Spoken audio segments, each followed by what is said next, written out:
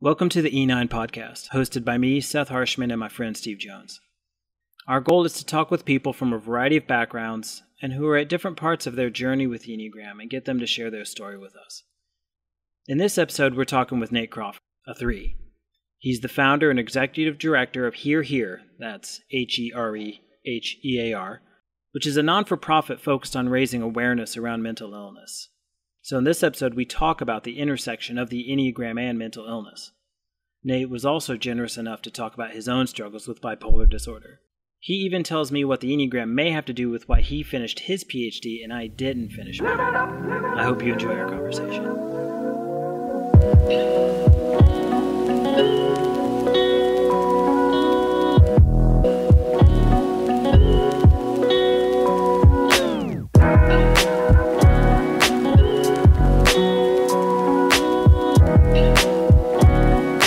Love sitting here with two fives. Like, Yeah, there's gonna be lots of lots of silence. Like, there's like looking at each other and looking at me, and like, so.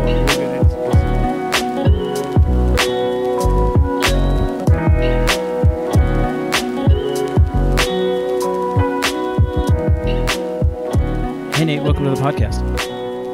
Thanks, Seth. You're welcome. Thanks, Steve. Hi. So Nate's a good friend of ours from college. It's Yep. good to see him again. We don't live all that far away, but you know how it is with family and work and all that. We don't see each other a whole lot. It, it's really good to have him here. Aside from the fact that I'm pretty sure Nate's going to have great things to say, it's good to just spend time with a friend. So Nate, why don't you tell us a little about yourself? Well, so there's a whole bunch of different ways that the Enneagram kind of connects with me. Number one is I got a PhD in theology, so I can do like do all the theological kind of back Mhm. work and stuff like that. Uh, number two is that I have a wife and kids, and my wife we did the Enneagram, like kind of looking at it and stuff, and we actually took tests online, and she like nailed a number two. Like if you could put a number two, like and put them up on like a pedestal, like that would be my wife. The third thing is that I have uh, bipolar disorder, and I work with people with mental illness um, all day, every day, and, and write about it and do that kind of stuff. I run an organization called Here Hear, um, and I'll plug it, you know, H E R E H E A R dot org. And uh, and so um, so um, my my interest in personality tests and, and, things like the enneagrammers, how can I use these to help people that I work with on a on a daily Yeah. basis and stuff? Yeah. So And that's, I think, um, the real reason. That's something that, that really interests us too. Can you tell us, uh, start off the bat, like tell us a little bit more about what you do with Here Hear? So we are here. Here we started about three years ago, and we do suicide prevention and awareness trainings. Uh, I'm certified through the QPR Institute out of Tacoma, Washington, Okay. to do those. Um, I go into schools and talk. Steve's had me into his classroom a couple of times. I go into there, Mhm. talk to uh, high school students about mental illness and what it's like to live with a mental illness, and what it's like to then help a friend or to reach out on your own if you have a mental illness, and then talk about the importance of, me- of good mental health and stuff too. Uh, and we slide bullying and, and some other stuff in there because it all kind of interconnects. And then we uh, run a blog on herehear.org. We do, we'll talk with other schools. We do community events. I'm writing a book right now. It's like a, it's a book like if, like, say Steve as a as a teacher was like, this student is struggling. This book would be a place where they could give this give the student this this book, this text, uh, this curriculum, and then the student would kind of go through it, and there's like a, a page to read, and then there's like an exercise to do, and then Steve could go through and look at the exercises and be like, oh, like they they're kind of struggling, maybe they need Mhm. some more help than I can give them, and so that's what we're doing, putting it together. I'm in the middle of writing that right now, and then we also pay for counseling for for people, so we do a lot. That sounds like a lot. You put on a festival. Oh, and we put on a music festival, yeah, Yeah. because that's a lot of fun. Uh, we put on a music and arts festival and in Plymouth every year, and it's a ton of fun. So, and we and we raise awareness, and we have people come in and speak, and we have local bands come in and play, and everyone is always uh, real upbeat about it. The Yeah. whole thing. So, Correct me if I'm wrong. Part of the inspiration for that is uh, music's been a big part of your wellness, right? You you've mentioned something like that on occasion. but Yeah. I've never really asked about it. yeah, yeah. So I'm a I, I I play music. I don't play as much as I used to. I'm playing with a guy in a couple weeks at a brewery. So and we get beer. So that's a positive. And I actually I wrote my dissertation. My dissertation was on attune. Uh, I I wrote theology as attunement. That when you're doing theology and you're thinking theologically, it's actually more like a musician playing than it is like uh, Einstein doing his thing or something like that. So uh, that was interesting. I Hmm. got to quote Jerry Garcia in my dissertation and Trey Anastasio uh, from the bands The Grateful Dead and Phish, and uh, and that was Fun. yeah, it was fun. My and you dissertation got you got away with it. yeah, my dissertation director was like, I never thought I'd see the day. So, um, and it's funny, there's a guy after me that did a dissertation. He did political theology as plunderphonics. And plunderphonics is like a hip hop thing Hmm. where you, you, uh, it- like early, early hip hop, like you would take beats from different, um, like the Beastie Boys, Paul's Boutique is almost a perfect example. Like, if you listen to all the different things they mash together, it's, um, it's like they just taken from all these different places Hmm.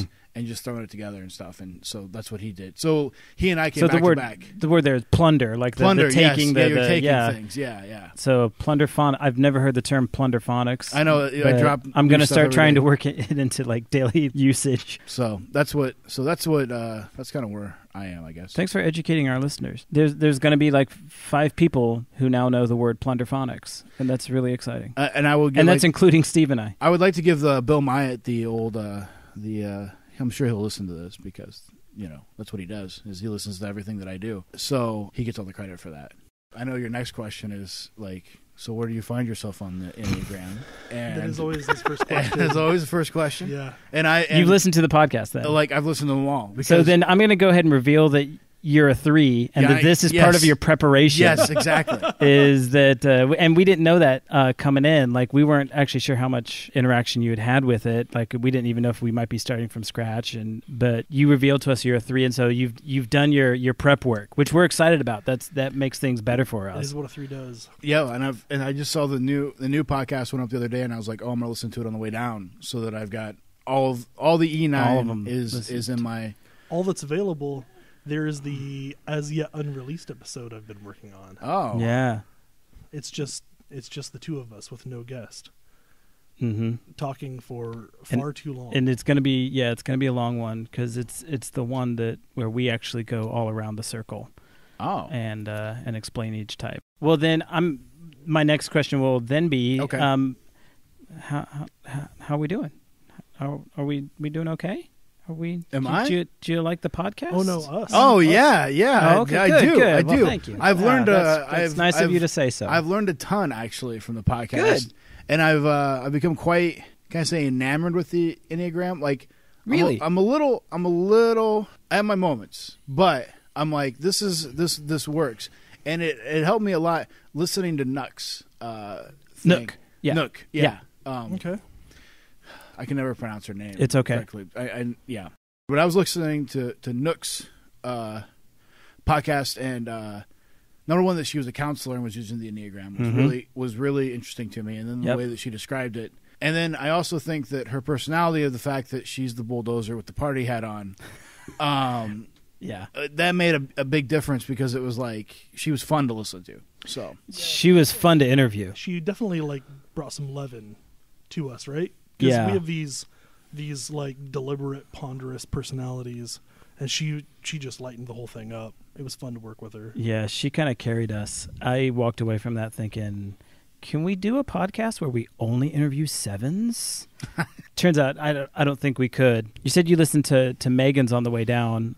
I, I think Megan kind of did the same thing for She- us too. yeah, she was a force in a different way. I noticed, and she's another one. She's a licensed counselor. right. She doesn't use the Enneagram as much, but she knows it well and really respects it. When Steve and I were batting around ideas for guests, one of the things that he mentioned about having you on was that last time he had mentioned it or or it had come up, he felt like you were a little bit skeptical of it. Talk to me about maybe like some of the skepticism that you had or maybe still have with it that you carry with you. Well, okay. Number one, I'm a little skeptical of everything. Okay. Um,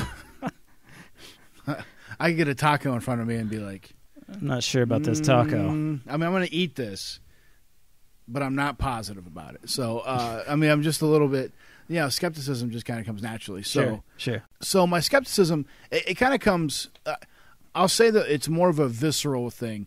I have taken so Mm. many personality tests Mm, yeah. um, from our alma, alma mater. Um, I just took like eight while I was there, I think, and I got a different type each time. And I finally talked to one of our professors about it, and he was like, "There are people that are called chameleons, and they just adapt." Hmm.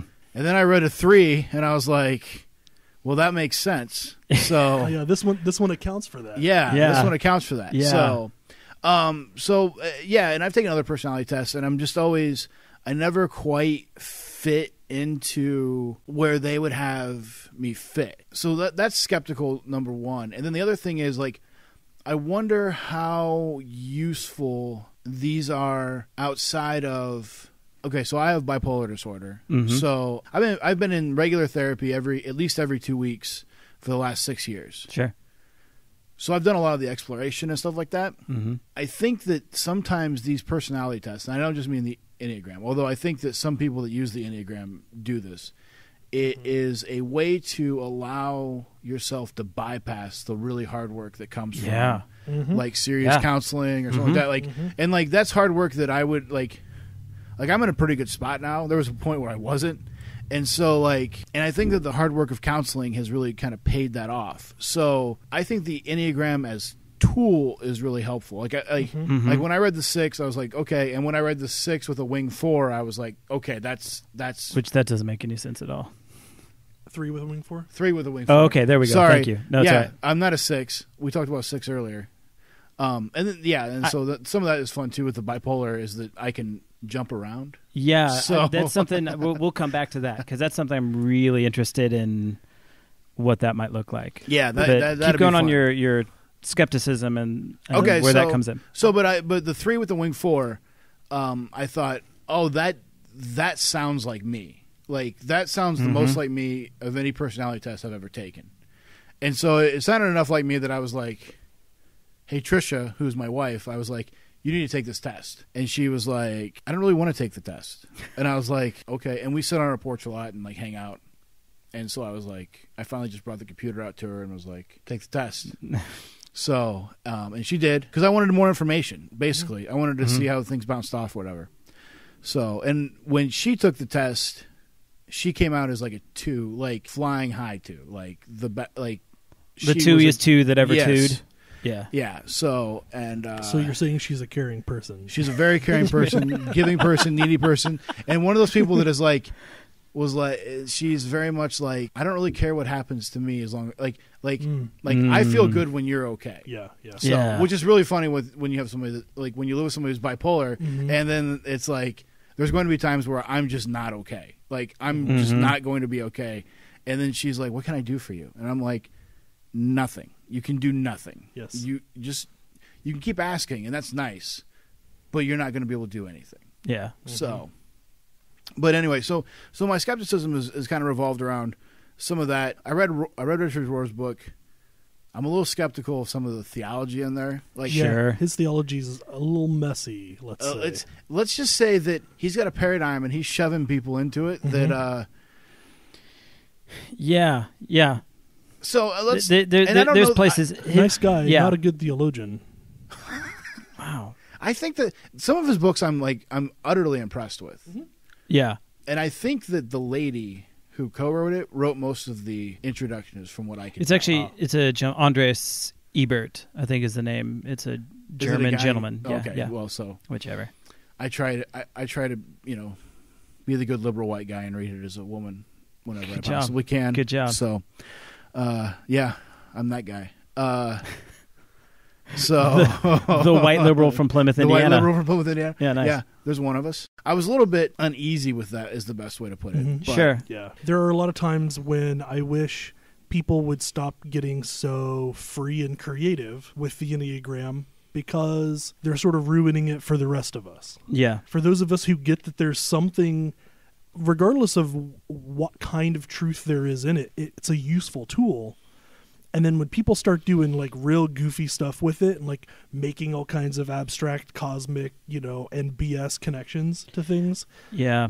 you know, it undermines what authority it I actually mean, has. I in think itself. I think there's a place to see like how far does this stretch? and if we want to do a project where we're exploring that, cool.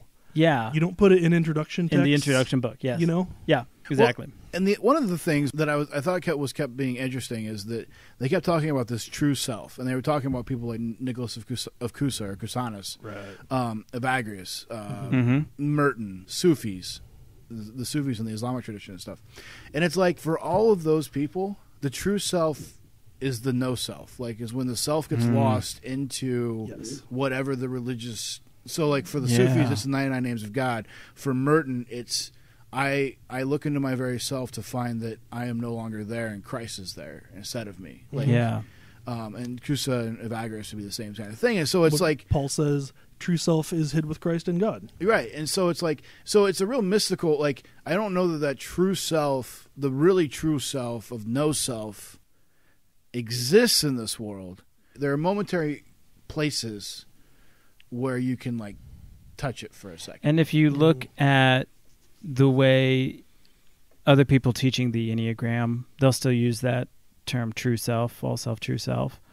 But I don't think it, it's what you're describing what what Rohr's drawing from. Right. I don't I don't think that it's the same thing. He might be making a, an equivocation there, trying to ground it in, in something that It's more maybe like higher and lower, lower self, right? Mm. Closer to true self. I got that, but again, I'm a I'm a so part of my you respect those sources and you don't Yeah, like seeing respect them those used that way. Yeah. And- well, and I also a lot of my background is in deconstruction Der- in Derrida. Like I've I've studied Jacques Derrida a ton, which will probably make everybody here just get a little.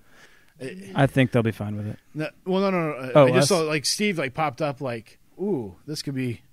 So like, but uh, I but I'm just going to be asinine and say, do you mean deconstruction like, I don't believe what I used to believe anymore? God, do I hate that?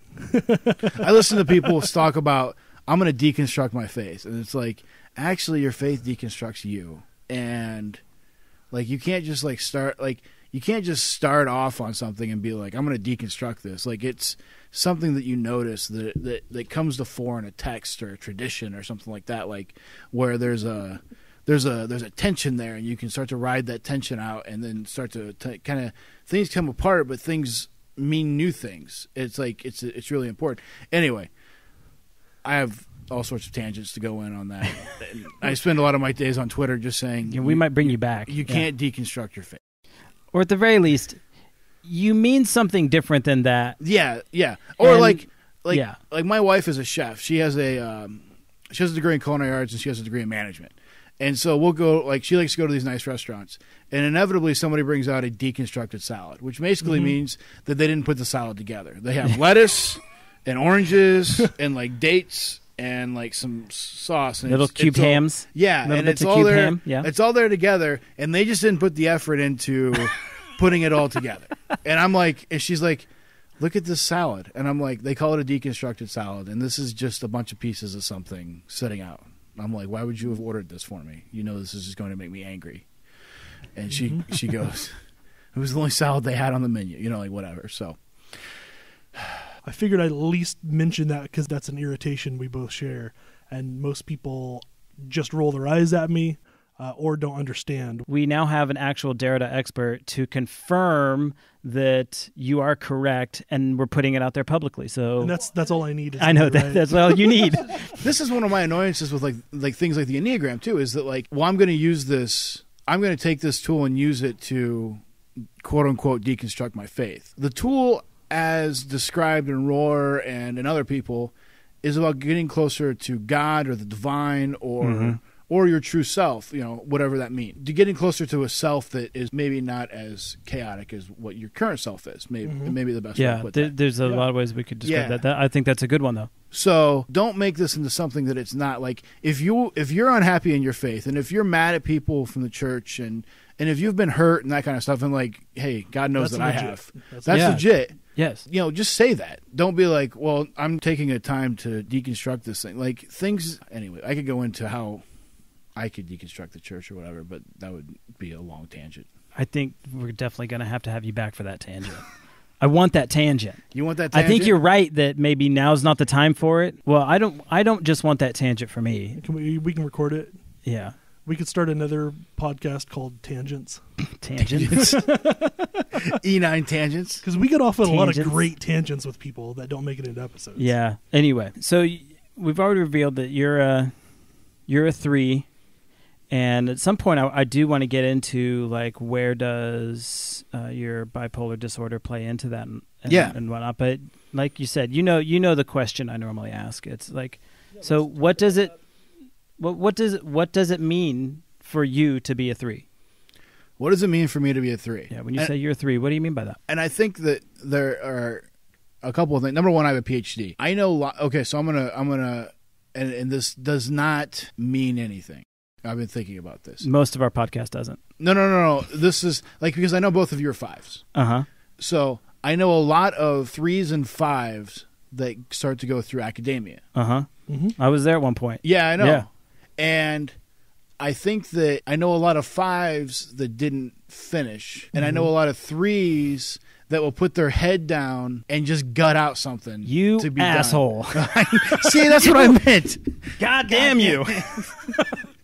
No, but you know what? I was actually thinking of this when I thought about it. I was thinking of this other guy who was like brilliant, the smartest Uh-huh. guy in our doctoral program.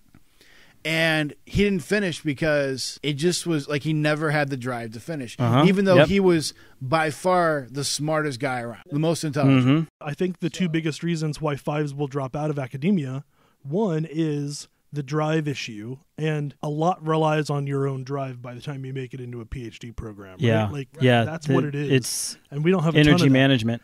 And two, if they suddenly realize, oh wait, this constant need to be seen as competent is an unhealthy thing in me, and I'm better off if I let go of it.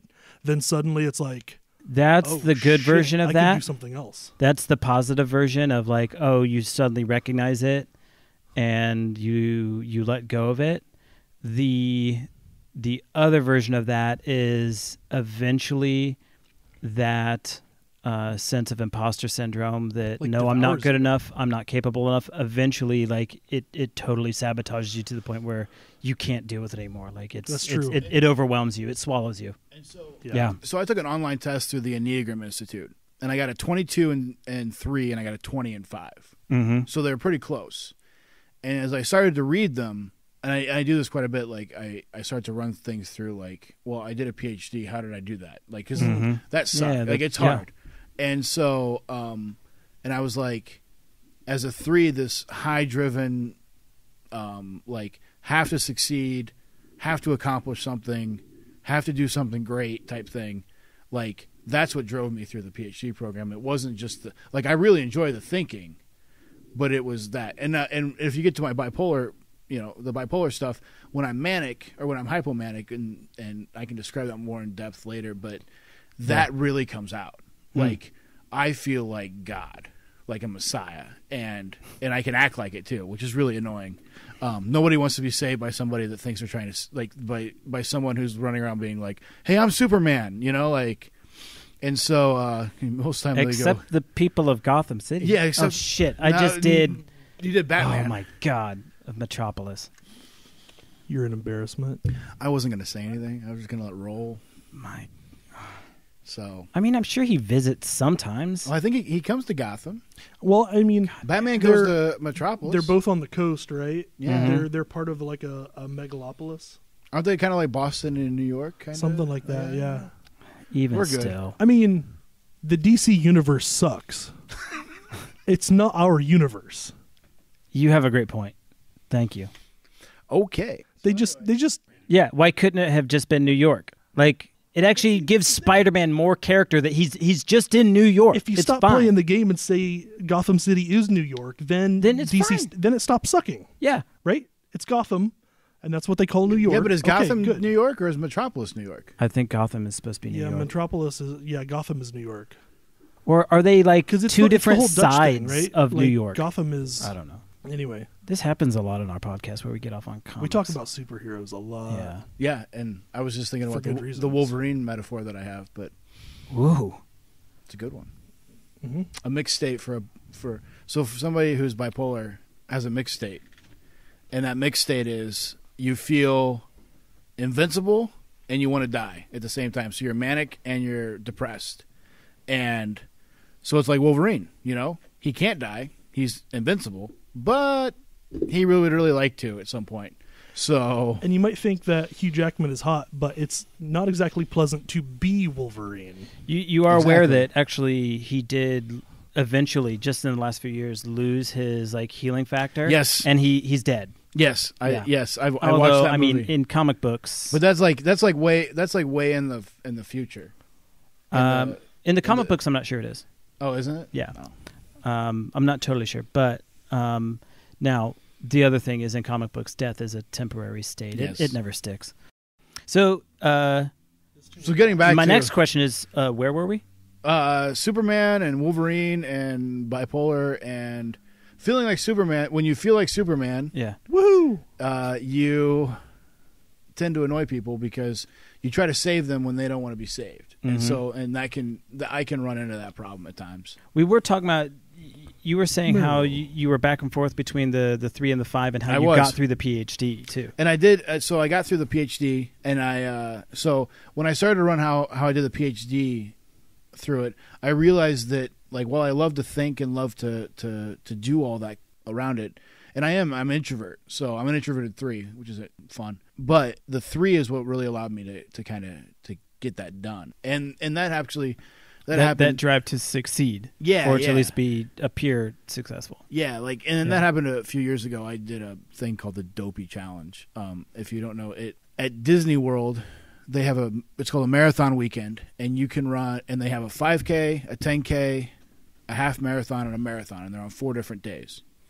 If you're an idiot or if you're a dopey person, dopey challenge person, you run all four in the four consecutive days. Huh. This sounds like S- nothing but healthy. so so I did Excellent this, idea. and uh, it was a it was a, it was a lot of fun. Um, I got to. Uh, Sounds like it. I got to mile. I got to mile four, and what's even better is that in order for you to get through the parks and through the place, you have to like start running at like five in the morning. So you have to like be on a bus at like two thirty to get to this place to get to run. Uh-huh. So I was up at two thirty every morning for four days at Disney World, and you know what? It was perfect because no one bothered me about going to the parks. No one wanted me to like. No one was like, "You got to be in the parks. You got to be doing this. You got to be doing that." Like it was just like, "Hey, I'm going back because I'm tired," and they're like, "Okay, like that's fine." And I was Mhm. like, and then when I'm like, "I'm going back because I'm having an anxiety attack," they're like.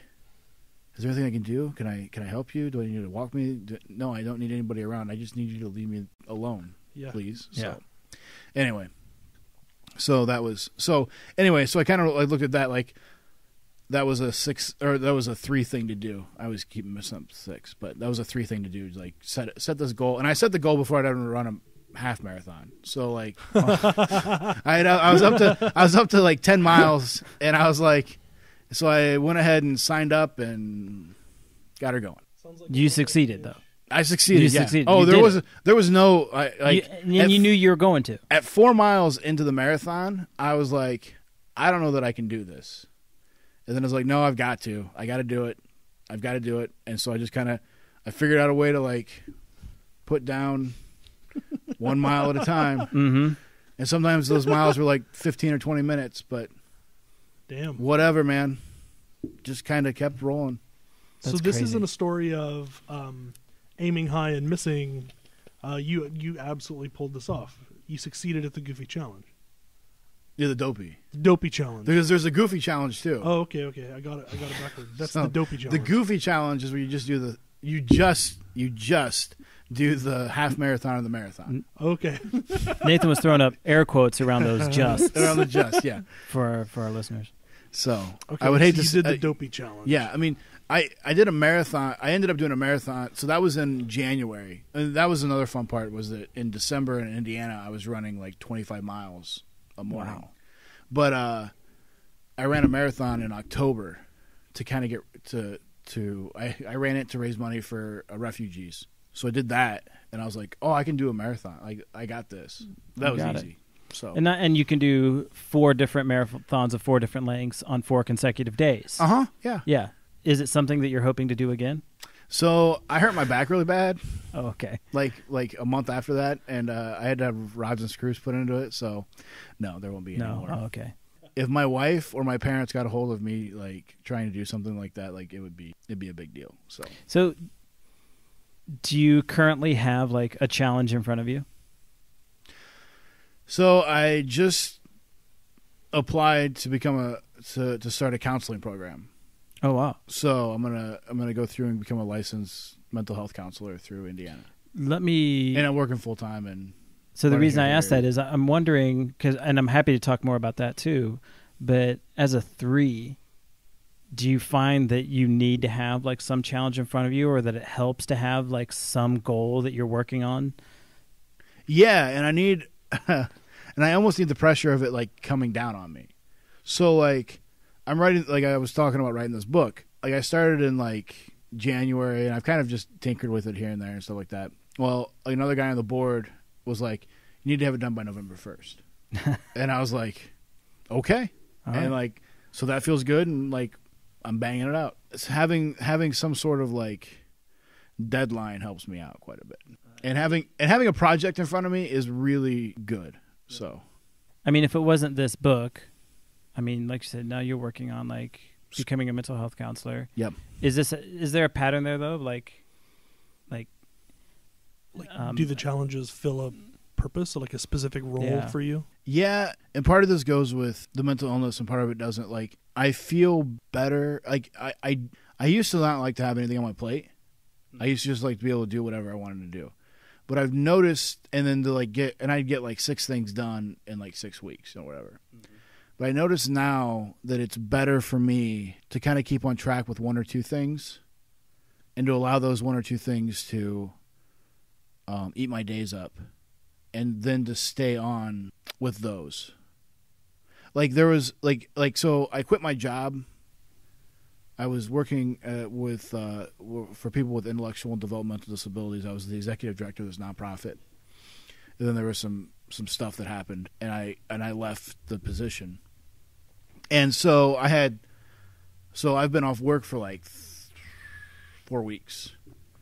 And that's been difficult because I don't have like I don't have like a Mm. big job to do. Like I've got this book Yeah. I'm working on, I got a couple other things I'm doing, but it's never it's not like a big deal. Does that make sense? And then the, Yeah. and then that is also like not having my time structured and like I've got to be at work and I've got to do this and I got to do that. It's allowed me to be real loose with stuff and that the more that I have things kind of occupying my mind, my mind doesn't go to other places that are real dark and Mm. nasty. So I can relate to that. I get that. do you think like some of what you're talking about has to do with how threes can over identify with their role mm-hmm. and so with that loss of role there maybe there's a like a little bit of crisis or i don't want to i don't want to overstate it but Yeah, I can see that. I mean, well, the other thing was I was I was worried because like, what am I going to do? Like, I don't have a job. Mhm. Like, you know, like, and that and that role does start to that does start to kind of play play a. It makes you nervous, mm-hmm. and then and it also takes away a little bit of identity. Like, I got a new job and I start next week and that kind of stuff. So it's it's no big deal now, um, and I'm doing something I like more. So that's it, it all worked Hmm. out really well, um, and I won't be in charge, which would be nice. I'll be able to do my schoolwork, and I won't be the I won't be the person to do everything. But Mhm. but I do think that uh, kind of as a three, yeah, I do identify with like that work, and I have noticed that like it's funny. I identify with the work, and then when I'm done with it, it's kind of like okay, I did it. I'm moving on now. yeah So like Yeah. like as a PhD like as a PhD student, I did the PhD, and and it may have been because I lived in Plymouth and no one really cared that I had a PhD. you and I at least had like some uh, similar acquaintances. I don't remember if we both had the same DS at some point, like when I was pastoring, and when Mhm. you were you were I think just a part time youth pastor in Plymouth Mm-hmm. for a while, and I, I can't remember what context you came up in. But basically, like the idea was, you're like the most overqualified, overqualified part-time youth pastor like anywhere ever. you having the a PhD in theology, you know, I mean, rivaling, you know, like all the pastors in your area and their education levels. And I mean, it was and that actually became a, an issue. Like, so I left uh, that church and went to another church to work and was doing youth and young adults ministries. And like, I was never the person that was going to be like, "Hey, I'm the smartest guy in the room" or whatever. Mhm. Like, I could project that air. I won't say that at times I didn't think that, yeah, but I was never going to be like. I was gonna have the false humility, you know. So, but this this one guy that I worked with was just like, "You got a PhD. You're you're you're you're smarter than me," and it became a competition to like mm, outdo me or something. And it was just like, Yeah. dude, like I like there is no competition. Yeah. Like there's I'm trying. But if to you're going to try and outdo something. me, then I'm I'm not going to let you. Well, kind of, Yeah. but I mean, there was really I was just kind of like, I mean, at that time, like like at this point, I've written, I've written one monograph, I've edited three books, and I've written twenty four articles, and many of them in peer reviewed journals. Like, if you're a pastor with an MDiv Mm-hmm. and like you want to start like piling up academic credentials, like He's not going to be able you're to do not, that's not it. You happening. can't do man. it. Yeah. So and like, and he's like, I that was always like, I went to Duke with some of the smartest people around, and I was like, I know those people, and you're right, you did, but that doesn't. It's kind of like saying that, like, well, I went to med school, but I never did the internship, and I never did this surgery Yeah. stuff, but I can still do that. Yeah. It's like what you said earlier. You know, like uh, academia is not necessarily about intelligence. It is about putting your head down and getting it done. Yeah. Yeah, yeah, Oh, it really yeah. is. yeah. The, some of the smartest people I've ever been around are not PhD. I mean, they- like it's simply a matter of and getting your work done in a way that some like Mhm. some usually some weird guy like th- that is your dissertation director gets it done. And my dissertation director, he was a little strange. So, but he was he was super nice and great and everything like that. Uh, he would find this fascinating. But For me, I've uh well, I won't say I've deconstructed the word smart, but I don't find the the the word smart to be very useful because No. everyone just thinks like if if you know. Um, I mean, I, I have my two master's degrees. I've I've been through. Um, I've made it partway through a PhD program, and then decided that uh, I needed to leave. But uh, I never felt like I was smart. Never. no, And yeah, and and so uh, and I look around and there's people who are accomplishing things that I, I if if I'd known them in different contexts, I wouldn't be like, oh well, that's a smart guy. No, they're just putting their head down and they're doing the work. It's not about being smart; it's about doing the work. And some people uh, have advantages. Um, maybe they're inclined toward this kind of work. But even if you're not inclined to, if you're willing to put your head down and do the work, you'll probably get through it and and, and Yeah. accomplish those same things. yeah, and smart to me just isn't a very useful term. No, it's not a very useful Yeah. term because and the other thing is like like my wife works at um a a gear and manufacturing company. Mm-hmm. I couldn't do that. Like Yeah, she runs the she's the director of human resources, so like she's not doing it. But like she talks she's like yeah, this guy was making this part and he was doing this and calibrating that and all that kind of stuff and I was like, I got nothing. I could I could not sit there and do that. Most mechanics don't strike me as people who who most people would say, "Man, that's Yeah, a smart smart guy." guy. Except that I don't want a PhD to work on my car. No. I want some guy who's been doing this 20 years and probably already has a PhD, like a practical PhD in in auto mechanics, you know, because he's been doing it It's so about long, multiple right? intelligences. You Yeah, know? exactly. There are people Yeah. who Yeah. have who have this like engineering brain Yeah, yeah. where they, they it's almost like they think visually in front of them Mm-hmm. and their hands are part of that thinking. My dad had that. Yeah. So when I was growing up, he had a he had a garage. He'd work on people's cars all the time. He loved it and he was good at it. And he'd ask me to do things. I'd watch him do it. It's the most simple thing.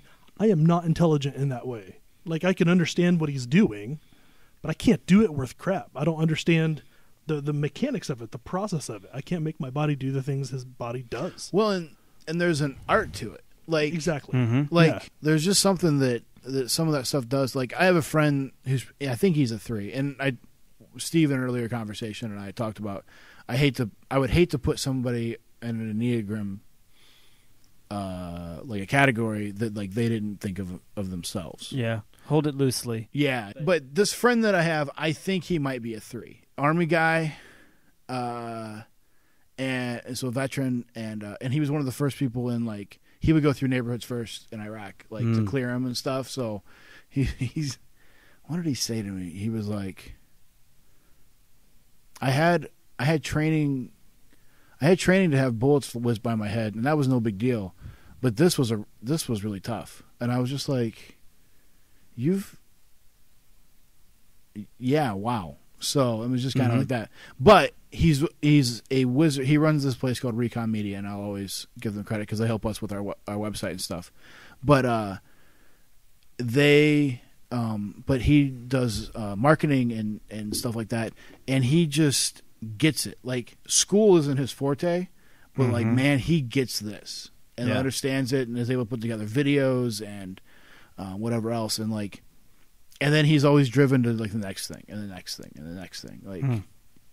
it's cool to watch because like we're very different threes. Like he's much more like social outgoing like helping people out that kind of stuff and i'm much more like one-on-one. Um you know we're in this together uh and and kind of a lot of listening. I pride myself on being the less, the best listener available to people. Like that would be one of the things. Like Hmm. like it's funny like i used to always tell people what what i thought they needed to hear. And i and i realized that that was really bad for people. And so i've tried to switch around into because I, I have an opinion on everything even if i don't want to get even if i don't give it. And um now it's switching around and being the the best possible listener so that somebody can get to where they need to go. And that's a real it, that can be hard for me at times. But my wife's like it's funny to watch you because you'll just sit there and like look at people until they talk. And I, and she's like i can't do that. I mean, she's an extrovert so but i'm introverted so i can sit and listen to people and they can breathe and i'm perfectly fine with that so. Anyway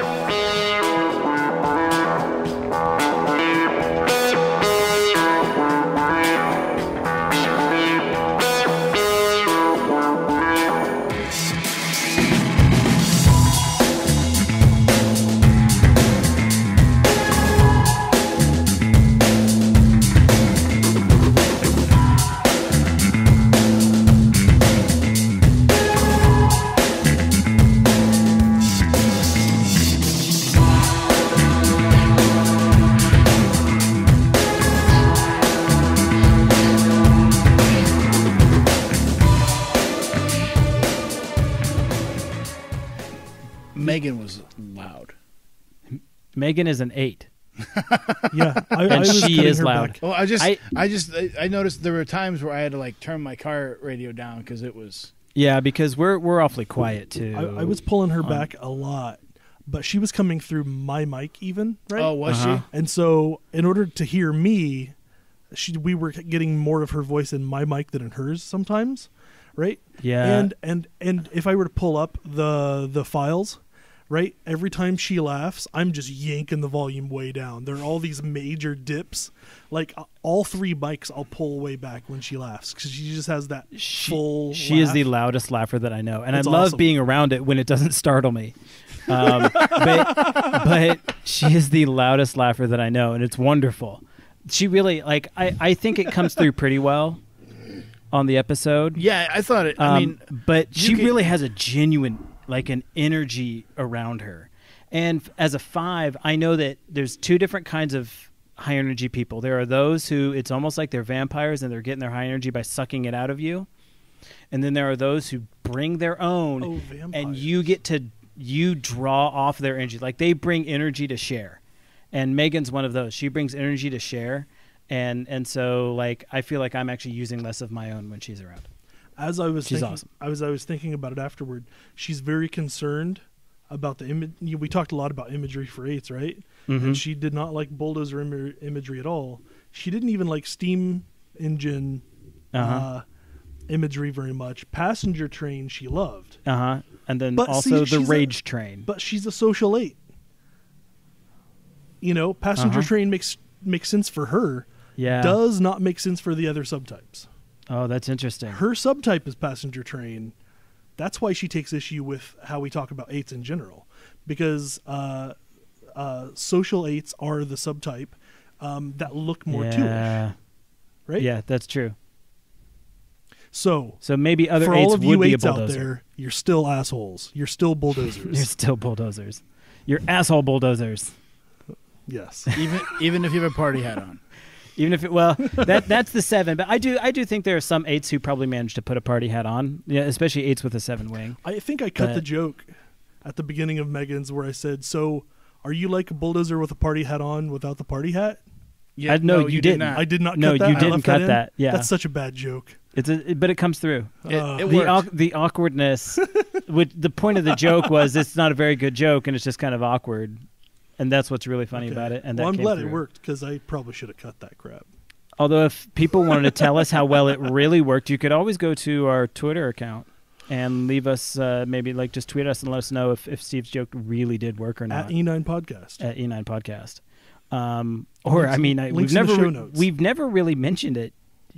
You could just give us any feedback about the show at all and let us know how we're doing because we're Because really just kind of we're floating out there without any, we're uh, doing this for the affirmation. feedback at all. Yeah. Oh yeah. Yeah. Yeah. Yeah. I am. So far, we haven't gotten any. I'm course you are. expecting to see lots of lots and lots. So actually, what what we need you to do is if you if you listen to this episode, please tweet at us. And do you have a Twitter account? Yeah, you can tweet it at NM Crawford, Nathan Mark Crawford. NM Crawford. Links And- to all these and more in the show notes. Yeah, of course. Yeah. and and let him and us know uh, how he was, um, particularly uh, if uh, you know. I think he could be brought down a peg or two.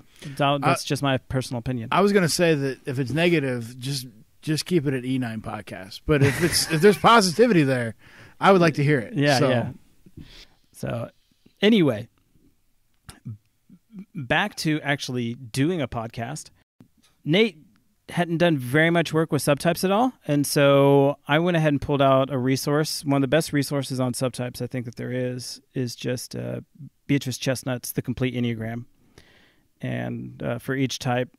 She talks about the three different subtypes: the self-preserving, social, and sexual. And I had a thought that maybe you were self-preserving. So where did you land on that? Yeah, so A few things you I said. told Seth he was kinda- wrong, but Seth was really right. So, um, Yeah. So and that's actually part of that's actually part of this is that uh, s- a self-preserving um, three has vanity for having no vanity. So uh-huh. the idea that like I like people to be like, "Oh, you're so humble," and I'm like, Damn straight. "Oh, just don't don't say that, but say it a whole lot more." Yeah, Like- yeah, yeah. like don't don't really don't really this and this gets to like really kind of uh uh like a vulnerable place for me because like this is where i am i, I would really be at and another thing is like the um that she says is that there's an anti-deception i mean really you could tell me that you could you're going to shoot me in the face and i'd be better with it than you just pu- than you being like oh you're okay and then like you pulling out a gun and shooting me in the face like at least just be honest with me Yeah. like and i Yeah. and, I- and i live like i'm very aware of people's feelings um, and i think that has a lot to do with the bipolar like people are always like all the feels like hamilton all the feels like hey bipolar all the feels um and so it so like you have all these emotions that are always readily available not not you have memories of them like it's Hmm. not that i'm always it's not that i'm always all this stuff at the same time but like i know what it's like to be really happy about something i know what it's like to be really sad about something i know what it's like just to be in the middle like and i and i have that availability to me at all at, at basically at all points and so um, I'm very aware of and in tune with people's feelings. Mm-hmm. I think that's where part of the the four comes in. But um, Mm-hmm. but I'm also don't want to lie to people or deceive people. Yeah. So like I've danced around things with people trying to tell them bad news or trying to tell them things that are hard without um like trying to take into account their feelings but also but but the primary thing is that we need to get to the truth or whatever the truth is you know like Yeah. that this is a problem. Um, and so, and that's happened a couple of times with uh, working with some of the people that I've worked with. Like, you work with family members, and and they don't want to hear that their that their daughter needs to, you know, be in a hospital or Yeah. or something like that. And so, and at, at some point, you just finally have to say, like, y- your daughter needs help beyond what you can give her. Like, Mm. and you've got to.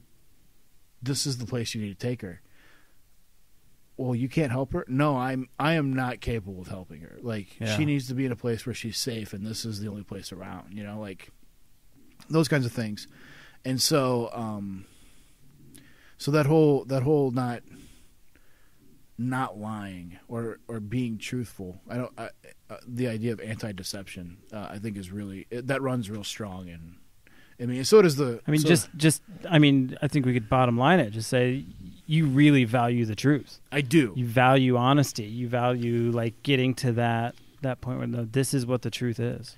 But part of the reason why that's interesting is how it intersects with a three type Yeah. personality. If a three is about a certain kind of success, Mhm. then trying to be really authentic and honest in the midst of that uh, can lead to a lot of conflict.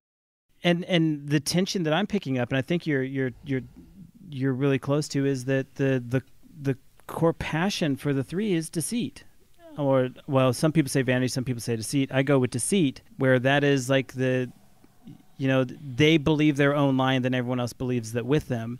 But this is the three that really does want to try and get to the truth. The, and it's The best, there's a the tension most there. believable lies are ones that are mostly true, right? Yeah, Like yeah. the more true it is, ask my wife. Ask my parents. I, can- probably won't. You'll just need no, to tell just me. to tell you, but Yeah. I'll uh. I can lie really well. Like I can lie with the best of them. Okay. Tell big yarns, and all that kind of stuff. Um, we So uh, yeah, in fact, when I I was in when I was in college, I You're gonna tell me everything you ever told me. no no no no no, aren't you? yes yes I was. Uh, no no no when I was in college I called home and I just got the news that I had to have gallbladder surgery. No Uh-huh. big deal. So I call my mom and I'm like hey I got to have gallbladder surgery. She goes no you don't. And I said what do you mean? She's like you're lying to me. And I was like I, I'm not I wouldn't lie about this. Like I I just got off you know I just got back from the doctor he said he needs to have gallbladder surgery he sent me he sent us stuff she's like I'll believe it when when they call me and I was like okay I guess that's how we're gonna roll right. So- All right. and so so that's kind of so I I can lie but the work that I've done especially like in counseling That's what I was gonna ask. has yeah. been to really kind of be honest with myself Mhm. and who I am and admit that you know I can be a liar liar you know like Jim you know the Jim Carrey movies on Yeah, HBO right yeah. now so You been watching that? uh, my kids have watched a little Oh, bit okay. of it so Yeah. Anyway, It's just an odd reference to kind of pull up. Yeah, yeah, unless, yeah, yeah. unless evidently it's recent. Yeah. it's recent yeah so we've yeah I mean a 1996 movie or whatever 97 movie anyway I was going to ask, like, with the three being that, that core passion of deception, and and particularly like they lie to themselves first, and they believe it, and then of course everyone else believes it along with them.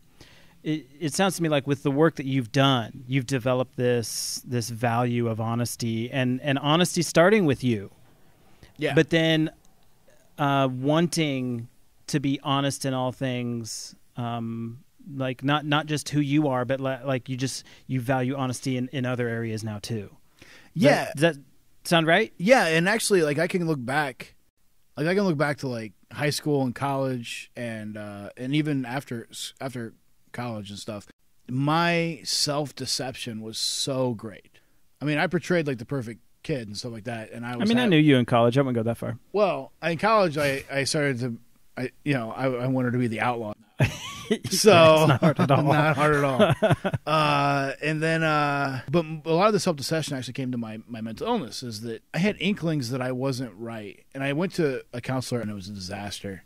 It, it ended up I got to the wrong kind of counselor. They they sent me to a guidance counselor instead of a mental health counselor, and the guidance counselor. It, the all the entire time that I talked to him, his eyes looked like saucers, and so um, it didn't work out real well. So it was a bad marriage. Uh, because I was being very honest with him, and he didn't need to hear that. And so, uh, so that was that was that. But but I, but the you know i was honest things just didn't work out yeah, I was really honest, and he was just like, "Oh my god!" And so, um, but but it, you know, like I, I survived, so it's okay. And um, but I did. I put on a, a a good mask, and was able to portray like you know the good student, uh, doing the right things, um, and and you know the best father, that that kind of stuff. When when I had kids, it actually took my wife just being like, "You suck as a human,"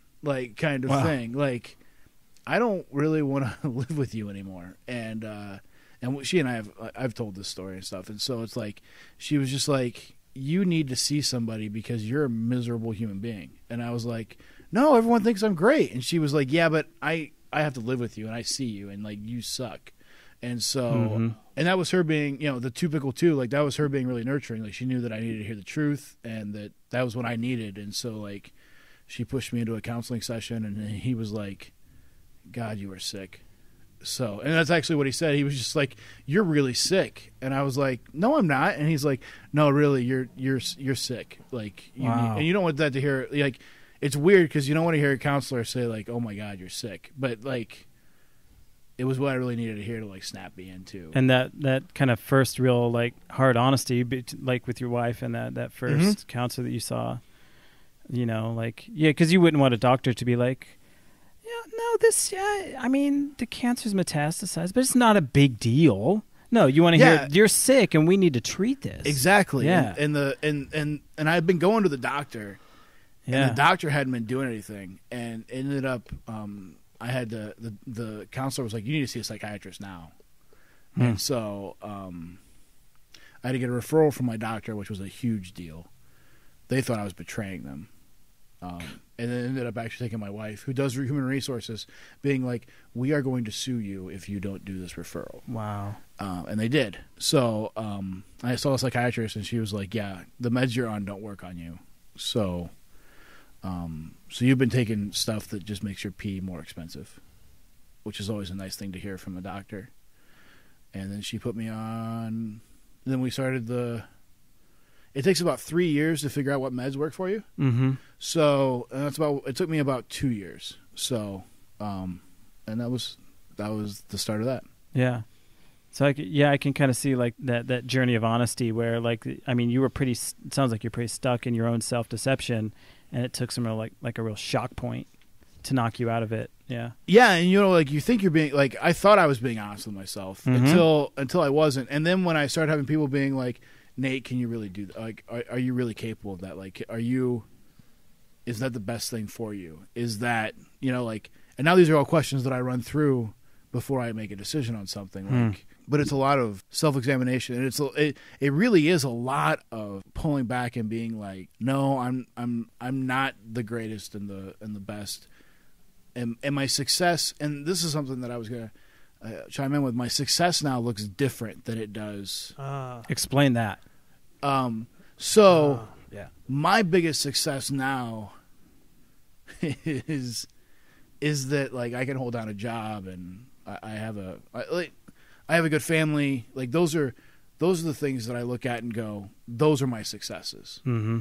I can go back to school and still and still do that. And and, and part of that is too is that uh, the meds I take make me hazy, so it's really hard for me to do. Like I can't do high level research anymore, not like I used to. Mm. So which you know kind of it, it, which is kind of a kick in the gut because it's like that's how I define myself for so long. Yeah. But so it's like those are like little successes, like and the success of like really. Like people come up to me and like, "Man, you really helped my niece," or like, "You really helped this." like Mhm. those are those are the things that that matter um you know and and that's kind of where where i am is that success has just changed if tomorrow the bottom drops out success is just surviving till it comes back you know Yeah. Yeah. and so and and, and my wife and i have been through that like and it, it i like to say like i like to think it's just a me thing but it's like an us thing like she has to go through that crap with Yeah. me so Yeah, of course. and her personality is like insert herself into that so that she goes through it with you Mm-hmm. and my personality is to kind of push her away and be like i can go through it myself so so that that makes an interesting dynamic as well but, Yeah, sure. I have a similar thing. We're not married, but I have this similar dynamic with someone who's who is a two. And of course, my mental illness is not on par with yours, but it's a similar sort of thing where if I've, for example, yesterday, uh, I had a real low yesterday, and of course, the way I respond to those things is to castle up, do my thing. I've been doing this on my own for a long time. Uh, I know what works, and success changes that day, right? Success for that day is can I function at all? yeah You know? And if I can, sweet. That means I'm not counting being vulnerable with people as a success that day. Uh, that's not even on my radar. So I, I push people away really hard at times like that. She takes that personally and she wants to help. Her response is, "How can I help?" And my response is, "Fuck off!" like it, it, it, it amazes me when when you talk about your wife and you say uh, th- that the the wanting to help is help, right? Just offering, even though Yeah. there's not much she can do, that is showing care. I can't even receive that. So she wants to help, and I'm like, it would help me if you'd shut up. Please don't take offense, but also seriously shut up. I don't want your help. I don't want you to try to help. and I think that I'm gonna I'm gonna have to ask her about this. I'm I say the I say the fuck word less with her, but I do say Okay. exactly what I so said. this is a representation of your side of things, maybe what's going on in your mind, but not the exact vocabulary you you yeah, use. I, I have I have an amazing leash for myself that See, I use when I'm with her. I'm happy to hear that. I'm happy to hear that, especially the person who used to have to be your She- leash in yeah, college. Yeah, she doesn't I- deserve. No, she doesn't of- all deserve of all of that. that. I but also my ability to hold back is diminished when on those days. oh right? yeah yeah yeah. Like, a you lot have to be more super aggression careful. comes out. Yeah. Oh yeah, oh yeah, and I think that everybody's mental illness is like their mental illness. Like so, Mm-hmm. like there's no like you have it worse than I that I have it or whatever. Like Sure. it, it all sucks. Well, let it's me all tell no you fun. one one of the phrases is that I think you you probably heard it in one of the episodes, but like for example, if I was talking to you about the enneagram, I'd say you know I can tell you what it means to be a three, but only you can tell me what it means for you to be a three. Yeah, I, so it sounds like similar with with mental Exactly, illness. Like yeah. I could I could show you the DSM four or five or whatever it's at now, but it's not it's not going to be like exact. It's going to show up in you differently in a, in a unique way. yeah, and it's a diagnostic. So you like you tick off things, and then you're like, oh, you ticked off enough of these to be Yeah. to be whatever To- it is to So, qualify? yeah, to qualify. Congratulations. uh, so, but then the other thing about I think mental illness, and and I shared this in Steve's class, and something that I've kind of come up with lately is that it's a self isolating thing. Like Mm, I don't yeah. know any mental illness that's like. I need to go out and like really like hang out with a bunch of people and like like and and Or like, if you do want to, that it's going to be received well. yeah, ex- I was, I was gonna say Yeah. like when I'm when I'm manic and I go to and I go to the bar, like it doesn't go well. Like Mm. I'm annoying and people don't like me and they go, "What is he on?" and that kind of stuff. Um, when it you know like yeah, so because I'm usually you know subdued and go in and have a drink and walk out and that's about it. So Mm. um, so for me to like come in and start doing shots and whatever else is. Usually, my wife tries to keep me out of those situations, but Yeah. it doesn't always work. So we've kind of danced around Yeah. mental illness. We've we've referred to it a lot, but I'm I'm interested in hearing. Um, well, I want to talk about it more explicitly in some way or another. So Yeah. I want to leave that to you. Do you want to talk about like the enneagram and mental illness, like as Well- a whole, and what you think about how that works, or or like what does it look like for you as a three, and how does your mental illness play into that? Like whatever track you want to take, I want you to leave you to take it. I'll go meta into micro. I don't know what those words Does mean, make- but I trust you. Um, so I go I'm just big, kidding. big to small. Oh, so uh, macro to micro. It'd be macro to micro. Yeah, that would work. Yeah. Maxi to I did not take any economics in uh, college. So uh, anyway, so like on a micro, on a macro level, I think the enneagram. It's interesting for for for people with mental illness because I don't think that personality things work real well with people with mental illnesses. Okay. Like Mhm. like I'm bipolar, so like I can kind of and maybe this is just because I'm a three, but I can snake my way through to different and see myself in different different- Profiles? yeah, Okay. and and and I could be comfortable. Like I could be, like there are times where I could be comfortable as an eight. Like, Do you think that that's the chameleon aspect of the three, where that's the mask you can put on and if see, you that's kind of what it is. Yeah. Okay. I think, but then it's also like I'm listening to Megan talk, and like I- I'm not saying that I know exactly how she feels, yeah, but like I know where she like runs out of energy, and like you know how to mimic it. Like Yeah. you've, you've, yeah, you. and you and you have to when you're somebody with a mental illness i think especially if you've got like bipolar or schizophrenia or major depression like some of these that where these mental illnesses become all consuming Mhm. that like you have to learn to almost mimic the world around you in order just to survive like i know a girl yeah, yeah. I mean, and I think that that's true for a lot of mental illnesses, but I, I think especially for some of those major mood disorders and schizophrenia. Like I know a schizophrenic girl, and I see her about once a week, and we talk, and I always ask her how is she doing, how are, you know, and I uh, she knows when when I say how are you doing, I'm asking about how the voices are, Yeah. Right. and she's like, this week they're not too bad, or Satan came to me this morning and told me to do X, Y, and Z, and it is all that I can do right now not to do it. She's like, I came to the coffee house just to watch other people so that I'm not engaging in that. Mm-hmm. And even somebody with a border, like borderline personality disorder, what is it? Somebody says they're like, "Love me, love me, love me, fuck you. Love me, love me, love me, love me, fuck you." Yeah. and Mhm. and and, Because and they pushes can't ever away. trust They don't have any Yeah. that trust. anyone does care. So they what they do is they learn to like kind of trust people the way other people trust people and hope that that will get them through it. So like what the Enneagram does, if you'll be honest enough to find like a, a true not a true self. If you'll be honest enough to put yourself in a profile, it gives you a starting point for that. Mm-hmm. Okay. But if you're not willing to take that honesty, and I think that Yeah. this is probably true I for think that's I think that's true for anybody. Yeah. but but especially for people with mental illness, like we think we're being honest, and what we're really doing is is mimicking something else. yeah, and then we can say like I really like this person, I'm going to, I want to be like them, even though you know that you can't possibly be like them. It's just a, it's a it's a weird thing. Yeah. yeah, you're constantly isolated, but you know you need people. One reason why I mean we're not the first Enneagram podcast out there, and we won't be the last. What?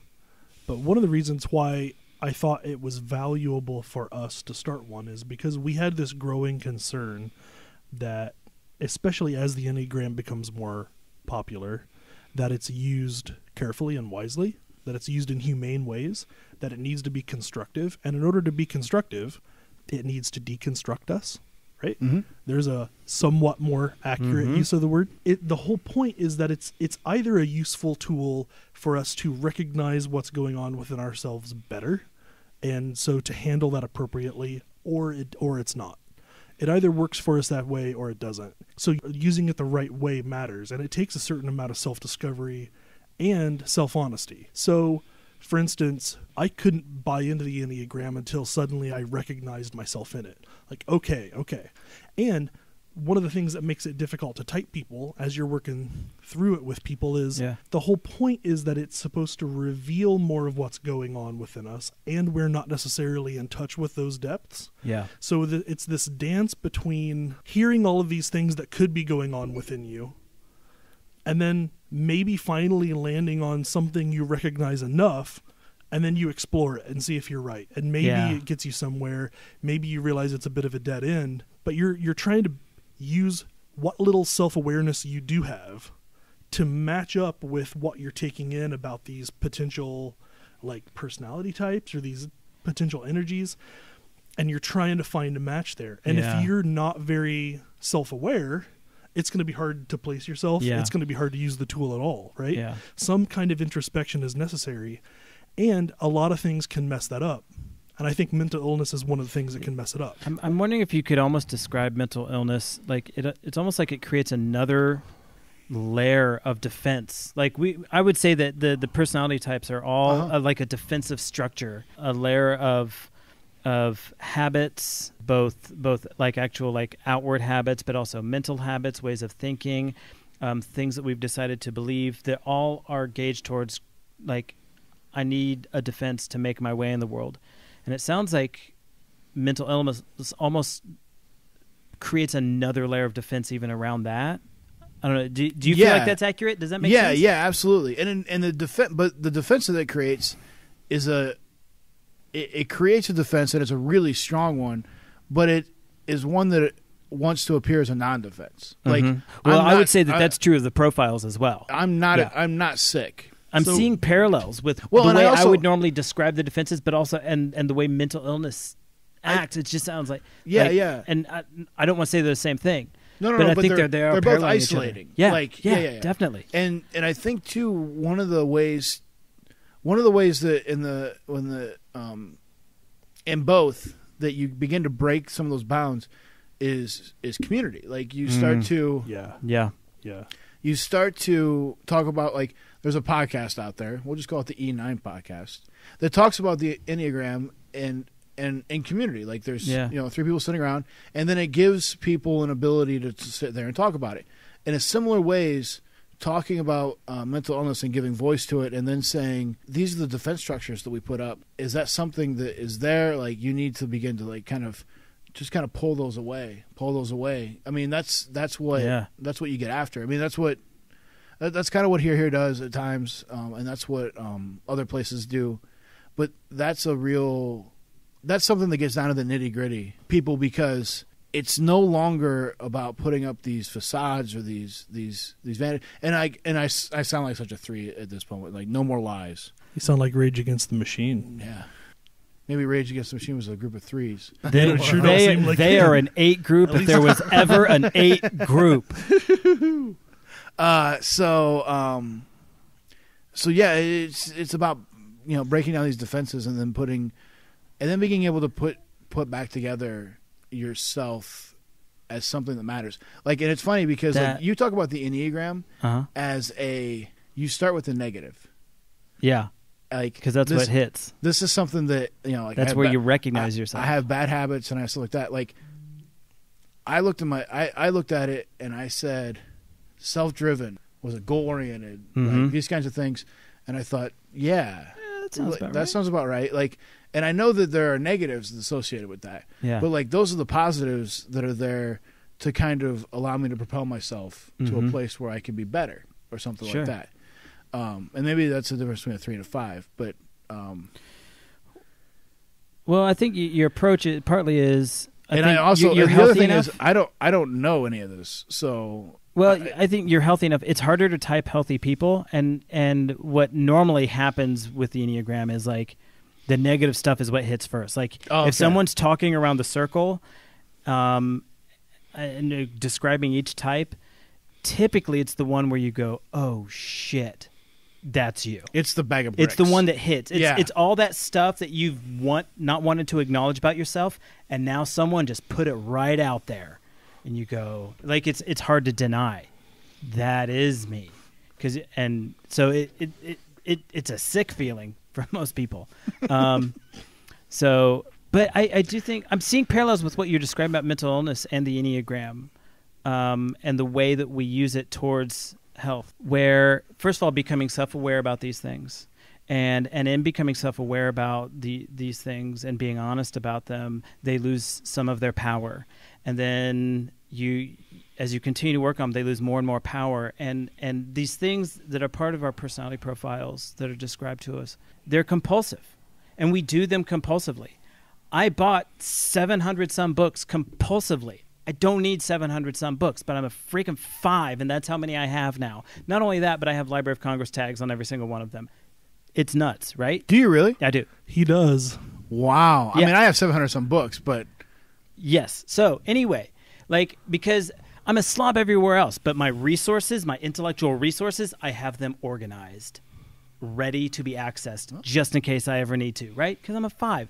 And so we do these things compulsively, but as they lose power over us, it's not like me having all these resources and being able to draw on them and being good with knowledge and, and analysis and all the stuff that makes a five, you know, like they're, they're they're positive things. But if they're compulsive, they're bad.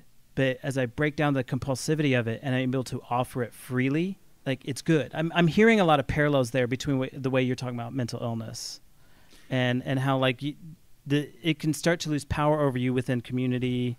And, Yeah. and and it and it loses its compulsive strength over you. well, and it does the more. Like I think that.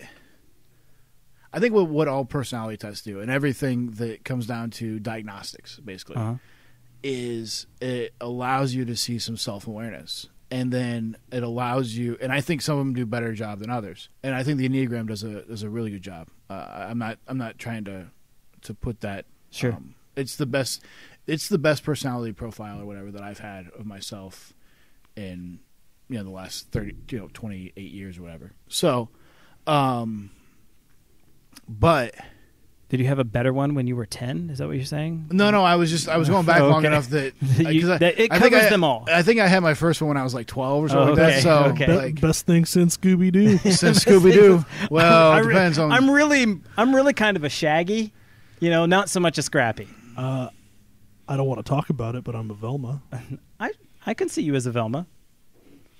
I'd be a Fred. yes, you would. Yeah, you totally would be a Fred.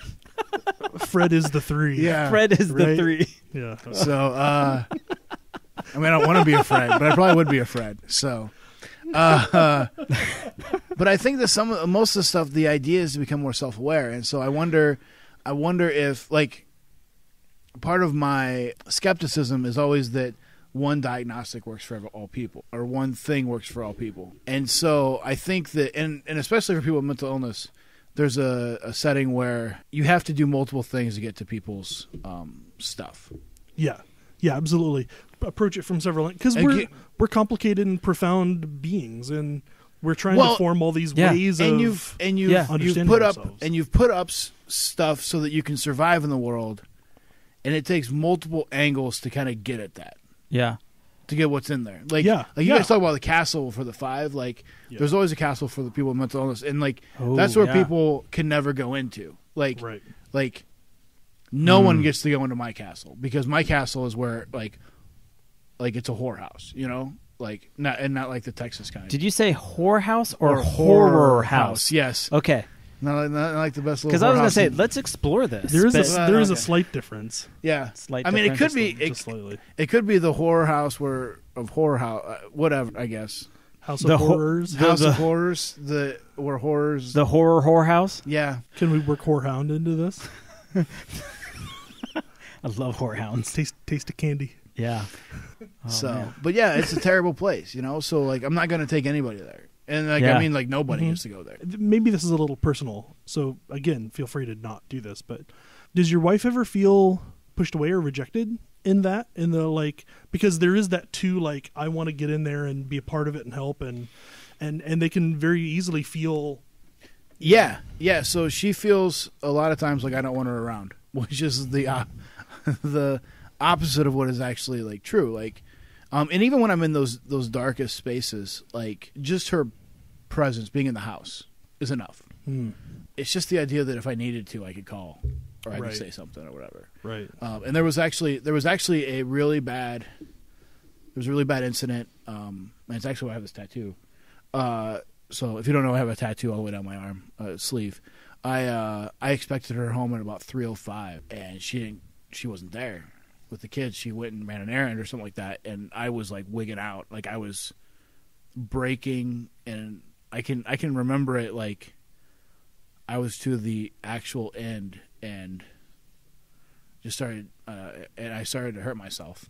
She came in and was like, "Oh my god!" and so it was you know so those are the places where you know my mind goes, and then um, she took she got me the the help that I needed and stuff. None of it made her feel good, but the fact that she was needed, like that, I didn't.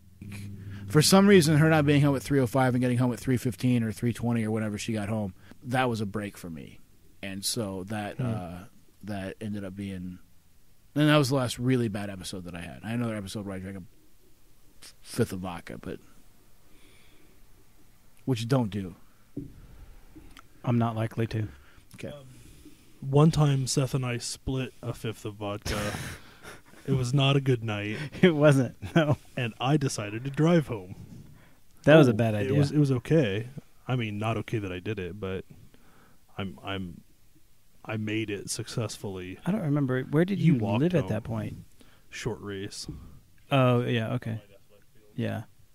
Yeah, we thought we'd make mojitos.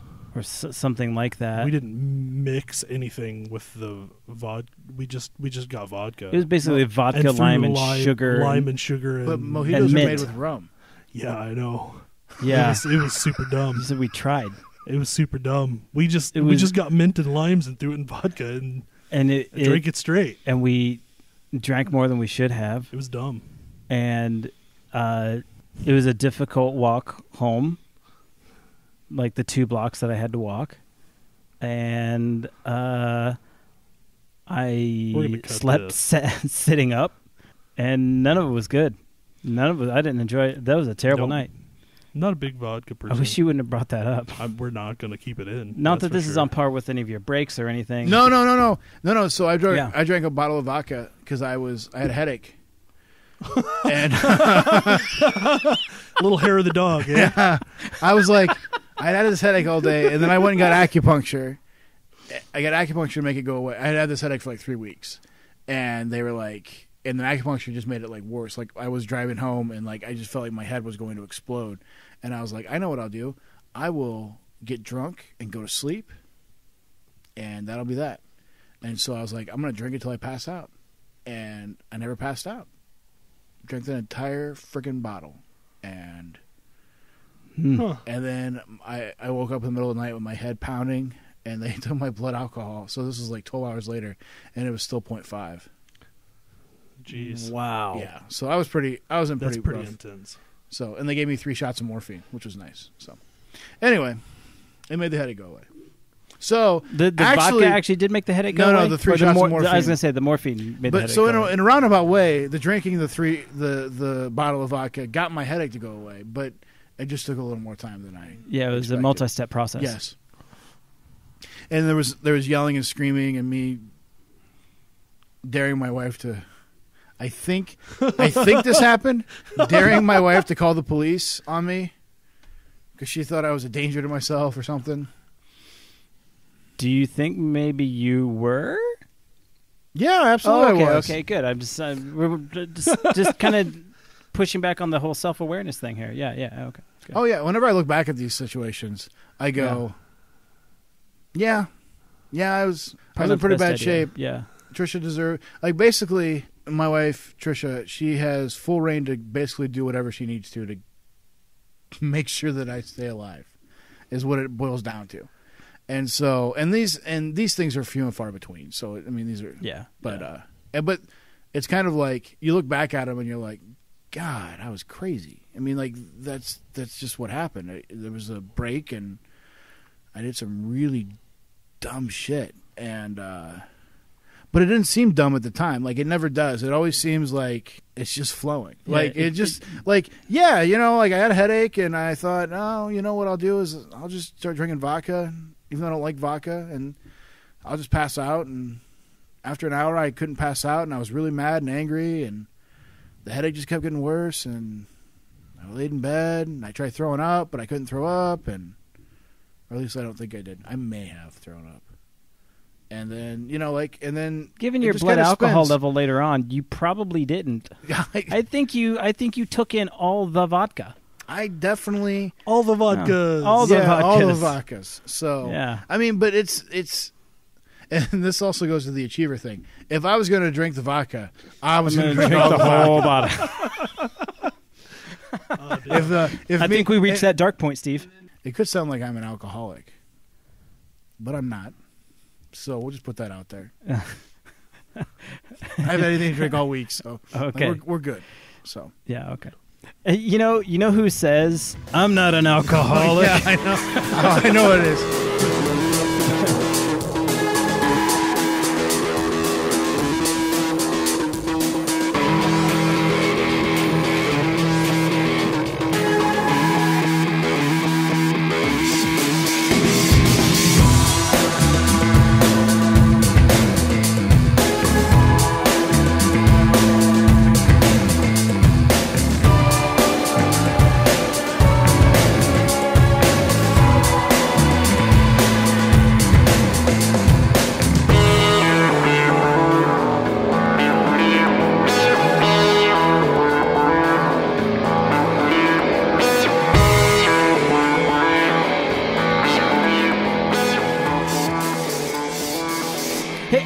I had a really kind of out of nowhere question. Okay. Well, It's not out, totally out of nowhere, but you said when you look back, you go like, "Oh my gosh, that was crazy."